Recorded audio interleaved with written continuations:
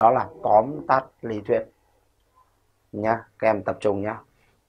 Các em phải rất tập trung, ghi chép cẩn thận phần mục tiêu và lý thuyết. Nhằm mục đích là các em xem nội dung các em cần phải nắm trong bài học ngày hôm nay. Và làm cái nền tảng để các em nắm bắt và giải được các dạng bài bài tập. Hiểu không nào các em?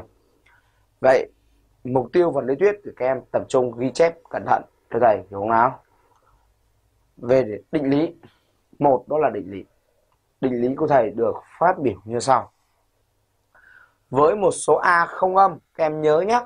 Với một số a không âm và một b số b dương, các em nhớ nhớ cho thầy này. B thì phải dương, tức là b phải lớn hơn không. Còn a là một số không âm, tức là a thì được phép lớn hơn hoặc bằng không, ta có.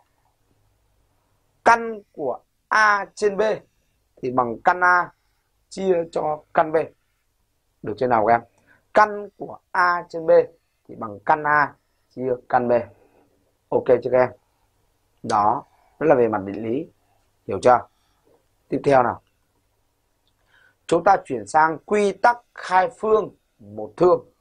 Quy tắc khai phương của một thương vậy quy tắc khai phương một thương như thế nào? Các em cùng tập trung lên đây cho thầy.